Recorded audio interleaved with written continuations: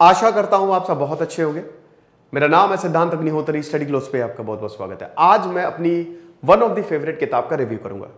किताब, अब तो थोड़ा सा वक्त कम मिलता है। वैसे, ज़्यादातर किताबें मैंने पढ़ी ही हुई हैं। लेकिन अभी भी जो अच्छी किताबें आती हैं, मैं टाइम निकाल ही लेता हूँ पढ़ने का। तो आज हम बात करेंगे सेपियंस की सेपियंस किताब की, जो मेरी वन ऑफ़ द फेवरेट रही है।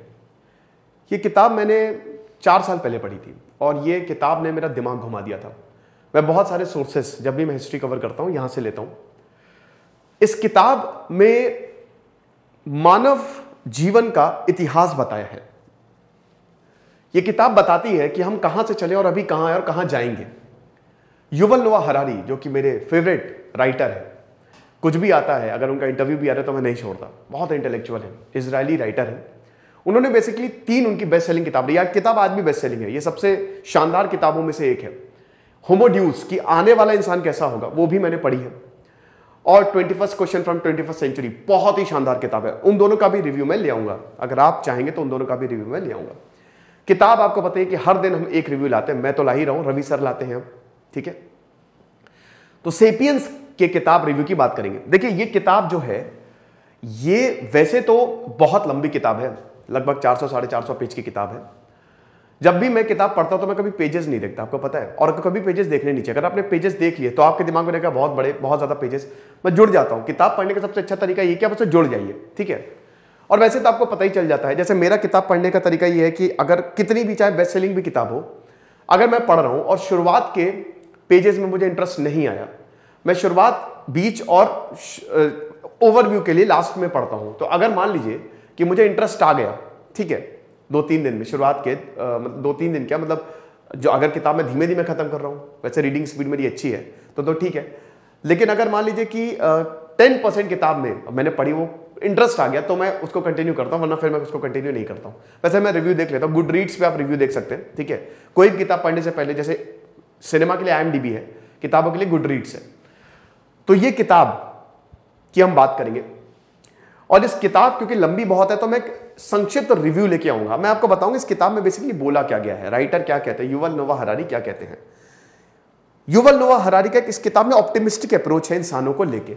बहुत ऑप्टिमिस्टिक अप्रोच है, लेकिन बहुत ज़्यादा जिस चीज़ को हमको लगता है कि बहुत बड़ी है, उस चीज़ को युवल नोवा हरारी पीछे कर देते हैं। जैसे एग्रीकल्चर ये सबसे शानदार पार्ट है इसका।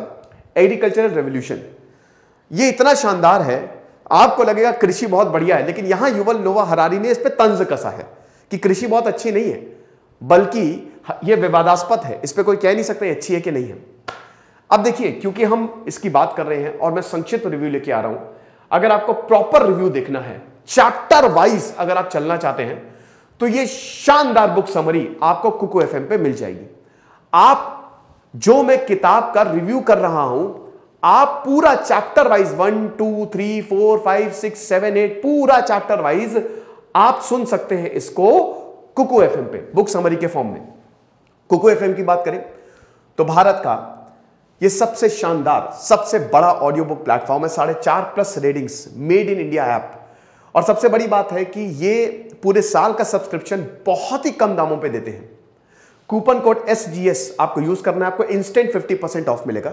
शुरुआत के 250 यूज़र्स के लिए ये ऑफ़र है।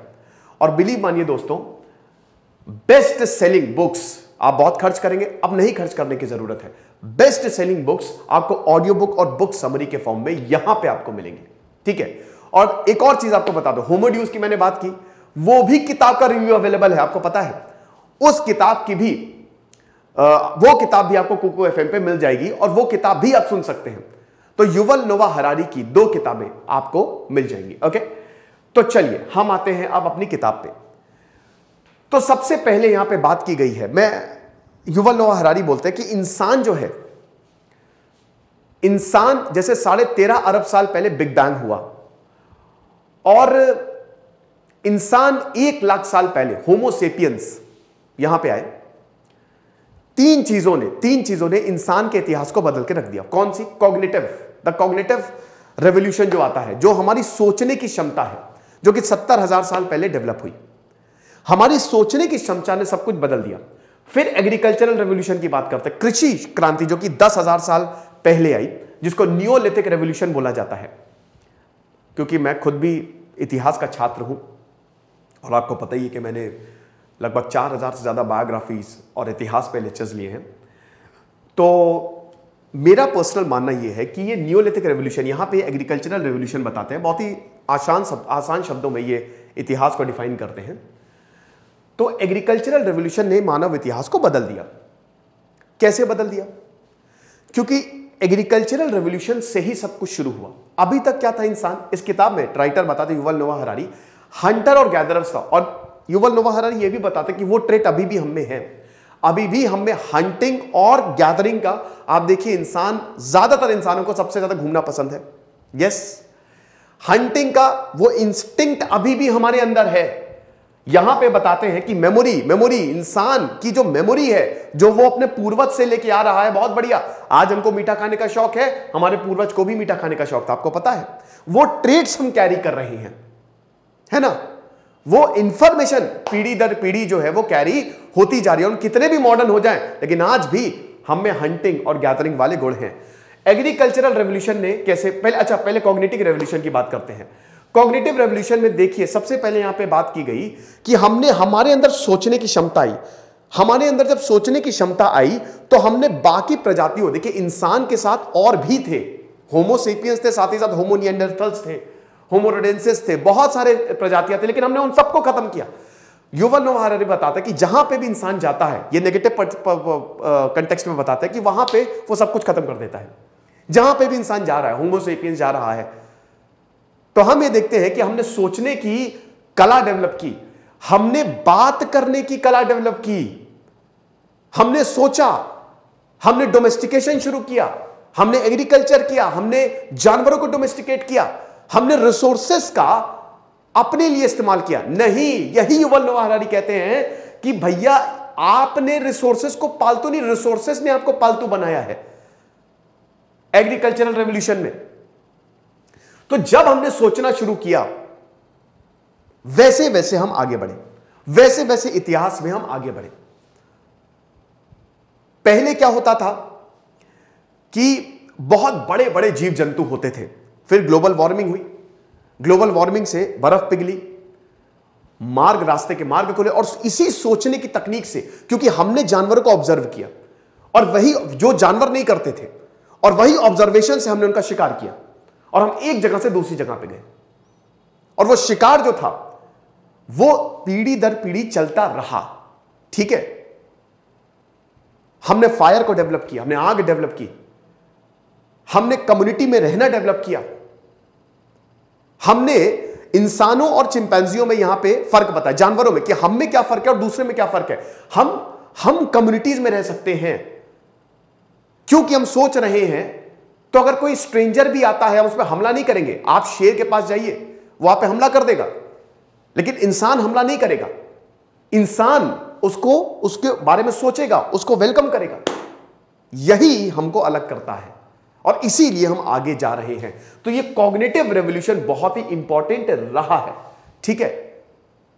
ये चीज़ है। एग्रीकल्चरल रेवोल्यूशन की यहाँ पे बात की गई है। एग्रीकल्चरल रेवोल्यूशन देखिए, यहाँ पे agricultural revolution Yuval Noah Harari क्या बता रहे समझ मुझे इस किताब में समझ में नहीं है कि उनका मत क्या है। वो कहना क्या चाह रहे एक तरफ़ वो बोल रहे हैं कि एग्रीकल्चरल रेवोल्यूशन बहुत ही बढ़िया रहा। दस हज़ार साल पहले ये रेवोल्यूशन आया। अब क्या हुआ? कि हंटिंग और गैदरिंग हम एक जगह से दूसरी जगह जा रहे थे, लेकिन अब हम रुक गए। हमने वीट हमने गेहूँ उगाया, जो कि बहुत लोगों के लिए पर्याप्त था, लेकिन इस चीज़ में टाइम लगता है। इस चीज़ में टाइम लगता है। इस चीज़ में वक्त लगता है। खेती में वक्त लगेगा, आपको तुरंत परिणाम नहीं मिलेंगे। तो अब इंसान सेटल हो गए यानी कि सेटलमेंट्स बनना शुरू हुए। सेटलमेंट्स बनना शुरू हुए। लोग खेती पे निर्भर हो गए। खेती इंसान पे निर्भर नहीं हुई। तो एक तरीके से जहाँ हम एक्सप्लोर कर रहे थे, अब सब कुछ थम गया। अब सब कुछ रुक गया। और खेती करनी हमने शुरू की। अब जब खेती करनी हमने शुरू की तो हमने, क्योंकि खेती के लिए आपको औज़ार चाहिए, हमने औज़ार बनाए। Iron age bronze age civilisation हमने जानवरों को गोट शीप कुत्ते हॉर्सेस इन सबको डोमेस्टिकेट करना शुरू किया। है ना? लेकिन यहाँ पे अभी भी बात यही है कि उससे हमको ज़्यादा कुछ मिला नहीं। क्योंकि इंसान पूरी तरीके से खेती पर निर्भर हो गया। यह ठीक वैसा ही है कि आप जैसे समझते हैं कि आप पैसा कमाएँगे, सब कुछ बढ़िया है, लेकिन जब आप उस लेवल पे पहुँचते हो तो आपको पता चल रहा है भैया, लोन चल रहा है मेरा तो बहुत लंबा लोन है। मुझे तो ईएमआई देनी है बहुत ज़्यादा। मेरी ज़िंदगी में बहुत ज़्यादा प्रॉब्लम्स है, मैं तो आगे ही नहीं बढ़ पा रहा हूँ। वही हुआ यहाँ पे इंसानों के साथ भी। इंसान ठहर सा गया। है ना? तो यहाँ पे एक तरीके से एग्रीकल्चर ने यहाँ पे पालतू बनाया है। फिर यहाँ पे यह भी बताया है कि इस, अब हुआ क्या कि एक बहुत बड़ा मैदान युवल नो हरारी बताते हैं, जो बहुत बढ़िया था, जंगल था, लेकिन अब उसको साफ़ करना शुरू किया, क्योंकि आबादी बढ़ने लगी। जहाँ अब हमको खाना ढूंढना पड़ता था, वहाँ पे खेती लेकिन सबसे बेस्ट बताते हैं, क्योंकि हुआ क्या कि आप खेती करके आप सबका पेट भर सकते थे, और यहीं से कम्युनिटी डेवलपमेंट भी शुरू होता है। है ना? तो यहाँ पे एग्रीकल्चरल रेवोल्यूशन अब एग्रीकल्चरल रेवोल्यूशन यहाँ पे पिरामिड्स की बात की गई। पिरामिड्स यहाँ पे देखिए इसी खेती से खेती से ही सब कुछ होता है। ये सबसे बड़ा टर्निंग पॉइंट था ठीक है? ये दू, दू, दूसरा रेवोल्यूशन आया दस हज़ार साल पहले। इसने क्या किया? इसने इंसान इंसानों ने ना बहुत सारे अल्टरनेटिव ढूंढ लिए और खेती से रिलेटेड अल्टरनेटिव कह रहा हूँ खेती से रिलेटेड जो है बहुत सारी चीज़ें करनी शुरू कर दी। जैसे हथियार तो उन्होंने बनाए बनाए। साथ ही साथ उन्होंने सोसाइटीज भी बनाई। लोगों को चाहिए, लोग चाहिए थे, लोगों को ट्रेन भी किया। And the most important social bifurcation भी शुरू हुआ। सोशल बाइफर्केशन लीडरशिप आई कि एक लीडर है, सबको देखेगा। खाना चाहिए ना, खाना चाहिए और एक्सपेंशन चाहिए। दूसरे कम्युनिटीज से हमने इंटरैक्ट करना शुरू किया कि चलो तुम भी खेती कर रहे हो, आ जाओ। तुम भी हमारे साथ आ जाओ। तो एक तरीके से एक्सपेंशन शुरू हुआ। ठीक है? सोशल स्ट्रक्चर जैसे अब डिवीज़न शुरू होता है कि जो सबसे निचला तबका है, वो खेती करेगा, जो उसका प्रोसीड्स आएगा, वो व्यापार के लिए काम आएगा। व्यापारी जो है, जो पैसा आएगा, वो राजा को देंगे, यानी कि सोशल स्ट्रक्चर और इन खेतों को, इन लैंड्स को। प्रोटेक्शन भी तो चाहिए तो सेना। समझ रहे हो ना? ब्राह्मण, क्षत्रिय, वैश्य, शूद्र। ये कैरेक्टराइजेशन ये जो पिरामिड है एक सोशल, एक जो, एक निचला तबका आया और एक ऊपर वाला तबका आया जो रूल करता था। निचला तबका क्या करता था? वो उसकी सारी बातें सहता था। यानी कि एग्रीकल्चर को एक तरीके से जिम्मेदार बताया जा रहा है, ये जो सोशल प्रॉब्लम्स हुई, ये जो दिक्कतें हुई, ठीक है? तो ये चीज़ है। उसके बाद तीसरा तीसरा जो यहाँ पे बताते हैं, वो साइंटिफिक रेवोल्यूशन की बात करते हैं, जो कि 500 साल पहले आया। 500 साल पहले। यहाँ पे रिलीजन्स की बात करते हैं। धर्म की अगर बात करें तो यहाँ पे युवल नोहा हरारी बताते कि धर्म बहुत इंपॉर्टेंट रहा है। आइडियोलॉजी और धर्म एक ही चीज़ है, लेकिन धर्मों ने लोगों को बांधा है। कल्चर्स की बात करते हैं। अब यहाँ पे कल्चर की बात कल्चर की कैसे बात? अब जैसे समाज आ गया, है ना? खेती के बाद सेटलमेंट्स बने एम्पायर्स बने तो उनको बाँध के रखना था तो कल्चर बनाया पर्टिकुलर कल्चर बनाया सबके लिए। कल्चर एक रूल्स एंड रेगुलेशंस थे। कि आपको ये रूल रेगुलेशन इसी हिसाब से चलना पड़ेगा। वरना आप आगे नहीं जा सकते। वरना आपको प्रॉब्लम कर देंगे, वरना आपको बर्खास्त तो हर एक चीज़ का रीजन दे ये रूल्स एंड रेगुलेशंस की तरह काम किया। वरना तो हम फिर वही हंटिंग और गैदरिंग पे चले जाते। क्यों? वही होता ना। तो आपको पर्टिकुलर रूल्स एंड रेगुलेशंस के तहत हम बाँध रहे हैं। रिलीजन भी वही था। रिलीजन भी वही था। रिलीजन भी एक सोशल कॉन्ट्रैक्ट की तरह युवल लोहारानी बताते हैं। कि यहाँ पे पेड़ पौधों को जैसे हिंदुइज्म में नेचर को पूजा जाता है और बदले में हम नेचर से सारी चीज़ें ले रहे हैं। यानी कि हम आपकी पूजा करेंगे और जो आप फल दे रहे हो, हम लेंगे। हम आपके पानी का यूज़ करेंगे और नदी के बदले में हम पूजा करेंगे। समझ लो ये चीज़ है। आइडियोलॉजी की बात की गई है यहाँ पे। आइडियोलॉजी बड़ी इंपॉर्टेंट रही। आइडियोलॉजिकल परस्पेक्टिव से, आइडियोलॉजी और रिलीजन को यहाँ पे सेम ही बताया वैसे। तो आइडियोलॉजिकल परस्पेक्टिव से यहाँ पे जिसकी जो सोच है ठीक है? वो उसी चीज़ को फॉलो करेगा। पैसे मनी बड़ा इंपॉर्टेंट रहा है। यहाँ पे मनी का डेवलपमेंट बताया है। मनी का इतिहास कि पहले क्या था? देखिए एग्रीकल्चर डेवलप हुआ मार्केट में प्रोडक्ट्स आए अब उसके बाद प्रोडक्ट का लेन देन शुरू होता है। ठीक है? अब ये प्रोडक्ट आप कैसे? पहले बार्टर सिस्टम था। एक्सचेंज रेट जिसको बोलते हैं। एक्सचेंज कि मेरे पास मान लीजिए कि दो आ, मेरे पास दो बोरी गेहूँ है लेकिन मुझे गेहूँ मेरे पास बहुत ज़्यादा है। घोड़ा नहीं है मेरे पास तो आपके पास घोड़ा, आपने मुझे घोड़ा दिया, मैंने आपको गेहूँ दे दिया। लेकिन यहाँ पे प्रॉब्लम आई कि वैल्यू कितनी है? क्या दो दो दो बोरी गेहूँ से आप घोड़ा खरीद सकते हो? सकता है उसका दस बोरी हो, दस बोरी गेहूँ से घोड़ा हो। तो वो वैल्यू तो इसीलिए सिक्के आए, कौड़ियाँ आई। सिक्कों का प्रचलन शुरू हुआ। तांबे, चांदी, सोने के सिक्के, फिर करेंसी आई। यहाँ पे बताते हैं कि 90 परसेंट जो पैसा है, वो तो खाली बोलने पे है। पैसा है क्या? ट्रस्ट है। भाई कागज़ी तो है। मैं आपको दे रहा हूँ बस एक ट्रस्ट है कि इसकी वैल्यू है आप कुछ भी चीज़ खरीद सकते हो। खरीद तो आप चीज़ ही रहे हो ना। आप पैसा कमा रहे क्यों खराब कमा रहे हो? मेटीरियल वेल्थ खरीदने के लिए घर खरीदने के लिए आ, फ़ोन खरीदने के लिए तो खरीद तो आप वही चीज़ रहे हो। बस वो एक कागज़ का टुकड़ा है। एक कार्ड है एक यूनिट है। क्यों? ये चीज़। लेकिन पैसा इंपॉर्टेंट है ये बताते हैं। वेल्थ इंपॉर्टेंट है। ठीक है? तो ये चीज़ बताई गई है। फिर उसके बाद साइंटिफिक रेवोल्यूशन में बहुत इंपॉर्टेंट चीज़ें कि यहाँ पे माइक्रोस्कोप के बारे में बताया गया है। हमने ऑब्ज़र्व किया, हम बदले, लेकिन जब माइक्रोस्कोप का डेवलपमेंट हुआ तो चीज़ें एकदम से बदल गई। साइंस ने हमको आगे बढ़ाया है। 500 साल का रेवोल्यूशन अब होमोसेपियंस तो last chapter end of Homo sapiens के बारे में ही बात करता है, लेकिन होमोसेपियंस एंड क्योंकि देखिए, जो जैसे जैसे विज्ञान आगे बढ़ा, हमारे पास नई तकनीकी आई। और हम आगे बढ़े, हम लगातार आगे बढ़ते रहे। विज्ञान ने हमको बहुत सारी पॉसिबिलिटीज दी। विज्ञान से कैपिटलिज्म भी आया। स्टीम इंजन जब आया तो स्टीम इंजन ने कितने सारे उद्योगों को खोल दिया। अब जैसे यहाँ पे बताया जा रहा है कि ये revolution industrial revolution Yuval Noah Harari बताते हैं, वो स्टीम इंजन से शुरू हुआ। और उसी इंडस्ट्रियल रेवोल्यूशन से यूरोप को बहुत ज़्यादा ताकत मिली। और यूरोप को इतनी ताकत मिली कि उसने साम्राज्य फैला दिया अपना। और वो साम्राज्य इतना ज़्यादा फैल गया कि आज भी भारत में आप यूरोपियन कल्चर देखते हैं एशिया में भी आप यूरोपियन कल्चर देखते हैं। ये चीज़ है।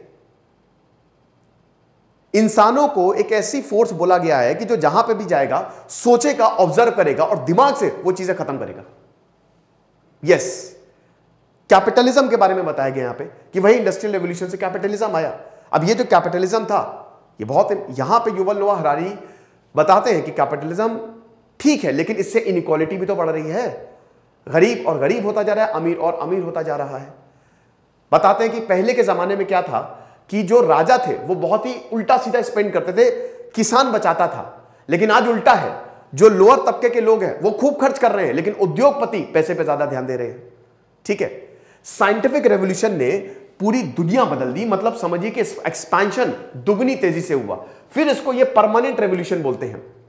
परमानेंट रेवोल्यूशन है कि ये लगातार होता ही रहा है। ठीक है? यहाँ पे साइंस और एम्पायर एक साथ मिलते हैं। साइंस ने एम्पायर्स को जन्म दिया। आयरन एज सिविलाइजेशन जब लोहा डेवलप हुआ, तब सारे के सारे एम्पायर पूरी तरीके से एक्सपैंड हुए। तगड़े से एक्सपैंड हुए। क्यों?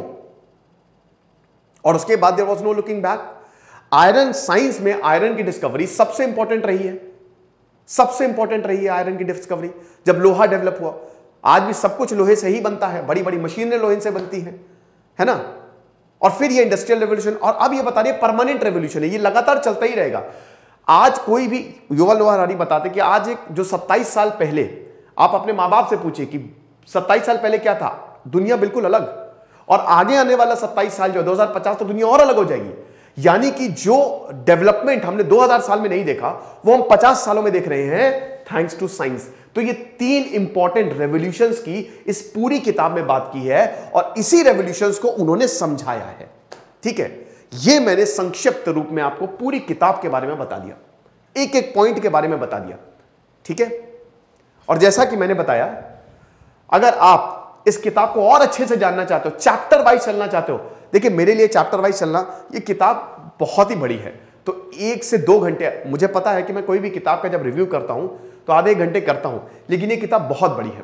और इस किताब पे मैंने बहुत सारे लेक्चर्स लिए हैं। तो ये किताब संक्षिप्त रूप में इन चीज़ों पे बात करती है, ठीक है? मुझे कमेंट बॉक्स में बताएँ कि और कौन सी किताब है जिसका आपका, आपको जिसका रिव्यू चाहिए। फ़िलहाल ये किताब चैप्टर वाइज बुक समरी के फॉर्म में आप कुको एफ़ पे सुन सकते हैं, जो कि सबसे बड़ा ऑडियो बुक प्लेटफॉर्म है। कूपन कोड यूज़ करिए S G S fifty fifty percent off मिलेगा। डिस्क्रिप्शन कमेंट बॉक्स में लिंक दिया है, उस लिंक को क्लिक करिए प्ले स्टोर पर जाएँगे, वहाँ से आपको डाउन डाउनलोड करिए और शानदार कंटेंट का फ़ायदा उठाइए। Thank you so much